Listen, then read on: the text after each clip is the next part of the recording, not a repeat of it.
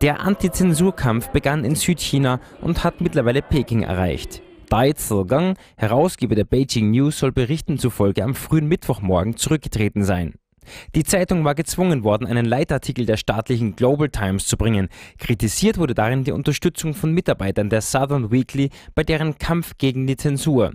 Diese Bilder, veröffentlicht im chinesischen Internet, zeigen die Redaktionsräume der Beijing News am Dienstagabend. Einige Mitarbeiter mussten vor Verzweiflung weinen, nachdem Pekinger Propagandabeamte sie bedroht haben sollen, die Zeitung zu schließen, sollten sie den Leitartikel nicht abdrucken. Die Zeitung gab nach, und das war der Zeitpunkt, als Dai Zigang seinen Rücktritt erklärte. Ob sein Rücktritt angenommen wurde, ist nicht bekannt.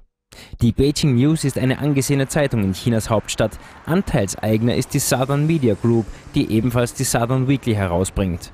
2011 übernahmen Pekings Propagandabehörden die Kontrolle der Beijing News und einer anderen Zeitung. Sie sollten mehr im Zaum gehalten werden, denn die Beijing News hatte damals über ein tödliches Zugunglück berichtet und damit den Ärger der Öffentlichkeit auf die Misswirtschaft der Bahnbeamten gelenkt.